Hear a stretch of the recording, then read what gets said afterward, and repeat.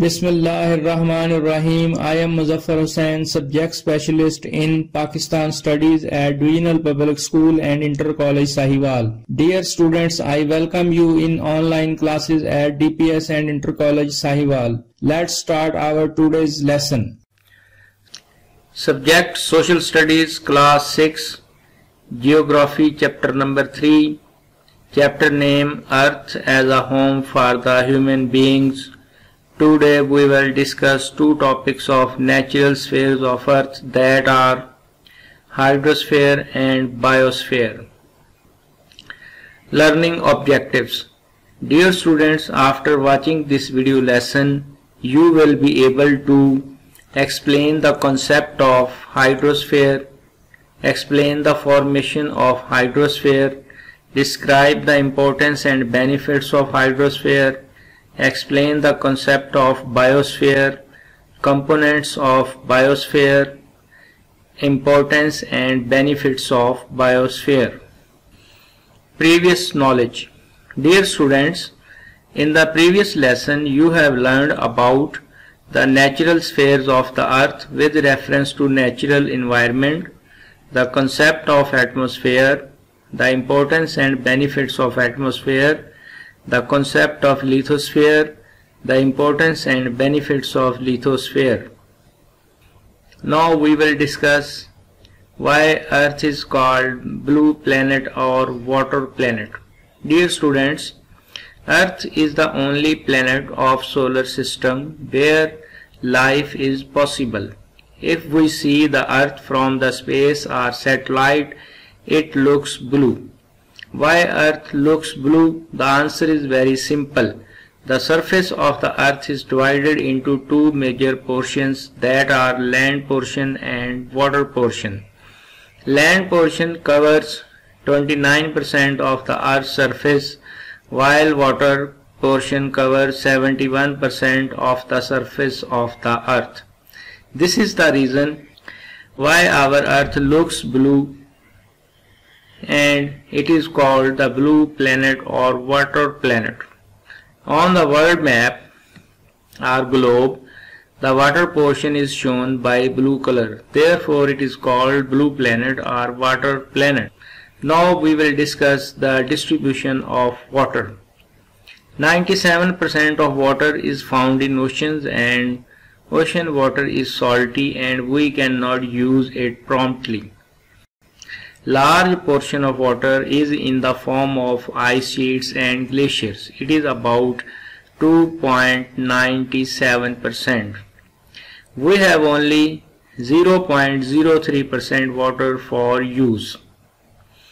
Dear students, water circle or water sphere is called hydrosphere. Today we will learn about the hydrosphere of the earth. What is hydrosphere? Students, the word hydrosphere is made of two Greek words hydra meaning water and sphere meaning a ball, circle or area. It means area of water. It is also called sphere of water.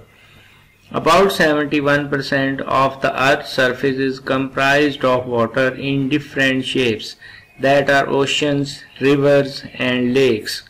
This is also called hydrosphere. The hydrosphere includes water that is on the surface of the earth, underground and in the air. Water collects in clouds and then falls to earth in the form of rain or snow. This water collects in rivers, lakes and oceans. Now we will discuss about the formation of hydrosphere. The hydrosphere is made up of all the water on earth's surface from oceans and seas to lakes and rivers. Earth's water came from the rocks that form the earth and from the comets and asteroids that hit the earth. This water then dissolved minerals to form saltwater seas. Now we will discuss forms of water. Dear students, water is found in different forms like rivers, seas, oceans, lakes, snow, rain, glaciers and ice caps. Now question is that water is found in all states of matter? The answer is very simple. Water is found in solid form like snow, glaciers and ice caps. It is also found in liquid form like rivers, seas, oceans and rainfall. When we boil the water and steam is generated, then water is in gaseous state. Now we can say water exists in all three states of matter, solid, liquid and gas. Students, now we will discuss importance and benefits of hydrosphere. It is the home for many plants and animals. It helps to regulate the temperature of the environment. It plays an important role in the existence of the atmosphere in its present form. Human beings get fish from hydrosphere. It is hydrosphere from where the water vapors enter the atmosphere by the process of evaporation. These water vapors turn into clouds by the process of condensation and produce rain which is beneficial for all forms of life on the earth. Hydrosphere is the source of irrigation. Hydroelectricity is generated from hydrosphere. Hydrosphere is the important source of trade, particularly international trade. Most of the international trade is carried through sea routes. River valleys and lakes attract tourists. Hydrosphere keeps the climate moderate. Dear students, now we will discuss our next topic that is biosphere. What is biosphere? Biosphere is the sphere of life comprised of plants, animals and human beings. It is dependent upon the other three spheres. In simple words, the biosphere is defined as the area of the planet Earth where organisms live, including the ground and the air.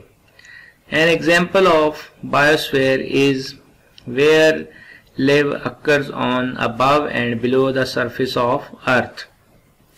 The part of the Earth and its atmosphere in which living organisms exist are that is capable of supporting life. The sum total of land, water and air present on the earth is called biosphere.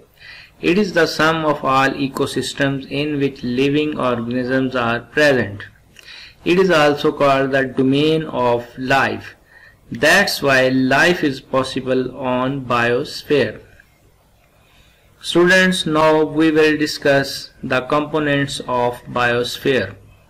The biosphere is a component of Earth that comprises life. It is composed of water, land and air to support life. These components of the biosphere form the hydrosphere, lithosphere and atmosphere respectively. Therefore, the stratosphere does not form a part of biosphere but is a layer of atmosphere. Students, now we will discuss the importance of biosphere.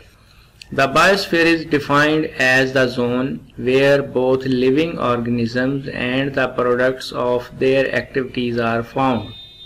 So it plays an important role to maintain the ecosystems that is the life of organisms and their mutual interactions and biosphere is very important to regulate the climate.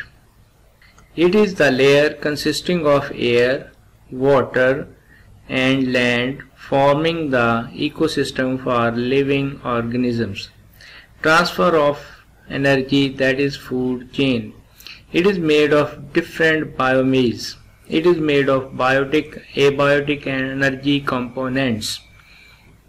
Recapitulation Students, now we will discuss the key points of our today's lesson in the shape of questions. Question number 1. On which planet of solar system life exists? The Earth is the only planet of solar system where life exists. Question number 2. What is hydrosphere?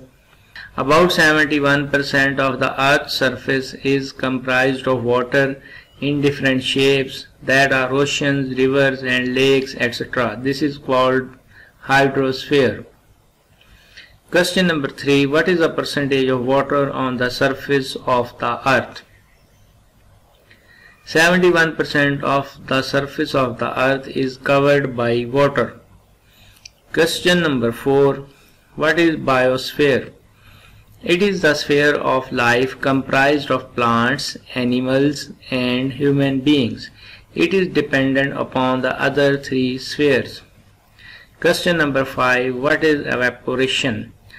The process of conversion of water into vapors is called evaporation. Students, now it is the time of assignment or homework. Read the page of the geography book number 36 carefully. Write answers of the given question on your notebooks. Draw margin lines, write with blue ink and mention date and day on your notebooks. Give the short answers of the below questions. Question number 1. What is hydrosphere? Question number 2. What is biosphere? Question number 3. What is evaporation? Dear students, hopefully you will have understood the lesson and enjoyed it. If you have any problem, please feel free to contact with us. May Allah bless you and Allah Hafiz.